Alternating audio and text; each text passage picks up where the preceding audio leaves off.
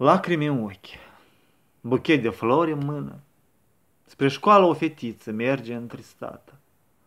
În haine albe, parcă ar fi o zână, dar singurică, fără mamă, fără tată.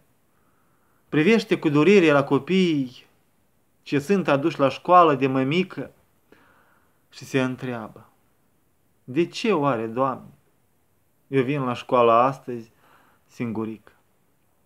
Vroia bunica azi încet cu ea să vină, dar bătrânețea pe sărmana nu o lasă.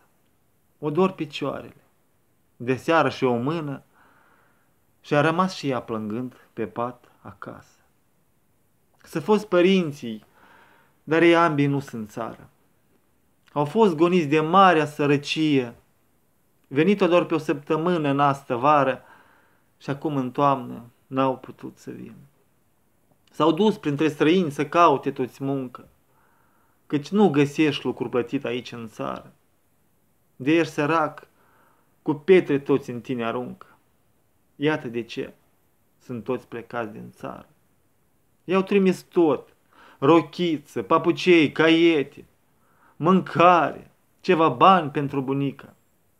Dar ochișorii verzi, abiete fete, o caută printre femei doar pe mămică. Plânge pe pat în casă o bătrână. Departe plânge o mamă îndurerată. Spre școală merge o fetiță ca o zână, dar singurică, fără mamă, fără tată. Mă întreb, când oare în țara asta va fi bine? Când vom scăpa de sărăcia asta ca de o boală?